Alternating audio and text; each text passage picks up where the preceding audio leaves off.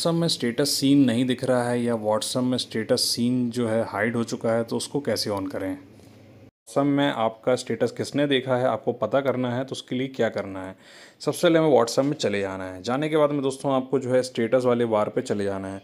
Status वाले बार में जाएँगे, ऊपर देखेंगे राइट हैंड साइड में थ्री डॉट हैं। थ्री डॉट पे क्लिक करिए, और यहाँ पे स्टेटस जो सेटिंग है, इस पर चले आइए। सेटिंग पर जैसे ही जाएँगे दोस्तों तो यहाँ पे प्राइवेसी वाला ऑप्शन है। प्राइवेसी वाले ऑप्शन में जाएँगे, यहाँ पे देखेंगे लिखा हुआ है रीड रिसिप्ट तो ये जो रीड रिसिप्ट है दोस्तों, ये आपका ऑफ़ होगा पहले से। इसको आपको ऑन कर देना है। अगर ये आपने ऑन कर दिया, बस। अब आपका जो व्हाट्सअप का स्टेटस है, वो आपके कितने लोगों ने दिखा है, वो आपको दिख जाएगा। व्हाट्सअप स्टेटस सीन जो है, वो आपको दिखना वापस से शुरू हो जाएगा।